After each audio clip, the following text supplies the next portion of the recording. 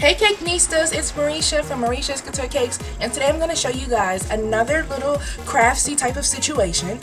I'm going to be using these cupcake liners to make something really really cute and that's another cupcake topper and it looks like this. It's for Valentine's Day. Valentine's Day is only three weeks away so we kind of need to start planning these things out right now, you know what I'm saying? It's frilly, it's fun, and I like it and it's a heart shape and you can do it with or without the ribbon. So the kind of wrappers that I'm going to be using today are these miniature cupcake wrappers. They say sweet on the bottom because they're oh so sweet. And these are from Wilton. These were actually purchased at Home Goods. You're also going to need scissors, a glue gun, and popsicle sticks or long toothpicks. These are Woodsies. I use these all the time and they are from Joann's.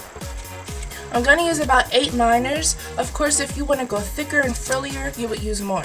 So you're just going to basically take each wrapper, flip it inside out so that only the white part is showing and fold it in half. And this is the first step. You're not really going to flatten it out too much to lose the frills because you do want some of those in there. But this is basically all that you do for right now. So we're going to do all of the liners and then we go to part two. Are you ready? I am.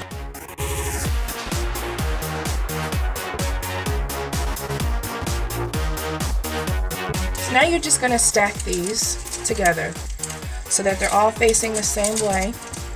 They'll look exactly the same so that it looks like this. Now if you don't feel comfortable with freehand cutting, please feel free to draw out a heart shape and then put it up against your liner and cut around it. Act like this is half of a heart, okay? So you're just going to basically cut out a half of a heart just going around and just make that nice little dip in the center.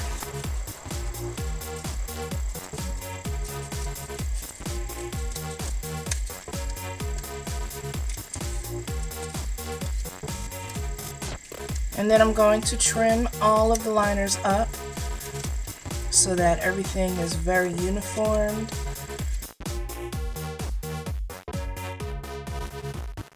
Basically think of like a booklet. I'm just going to put glue right along the center edge of the heart. And this is why I like using a glue gun because you can be very, very precise.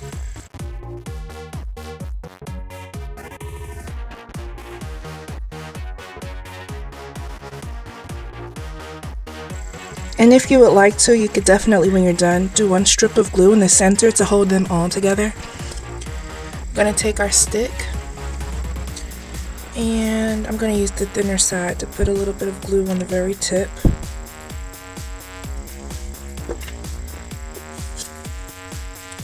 And then glue this to the center of the bottom of your heart.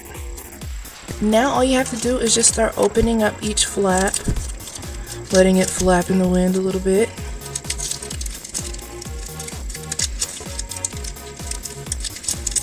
Kind of make sure that it's not all glued together.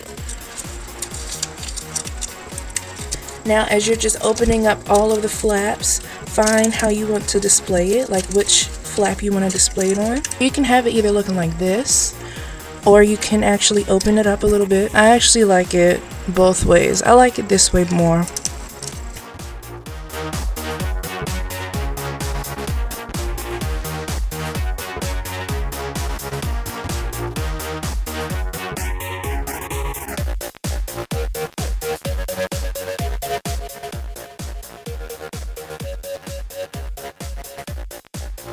Here are the cupcakes with the toppers. They are just as cute as I told you guys that they would be. I love the ratio. They're like nice and big and bodacious and just everything. I hope that you share these with your Valentine and I hope that you guys enjoyed this video. If you did, don't forget to like it and don't forget to share and please subscribe for more. Send me a comment below. If you would like to keep in touch and find me on Facebook, you can at facebook.com slash Cakes. You can go to my delicious blog. It's sure to make you hungry at marishascouturecakes.com. And if you guys make these really, really cute toppers, you must keep me informed because I would like to see what you guys do with them. So tag me on Instagram at Marisha's Couture. I'll see you guys soon. Bye.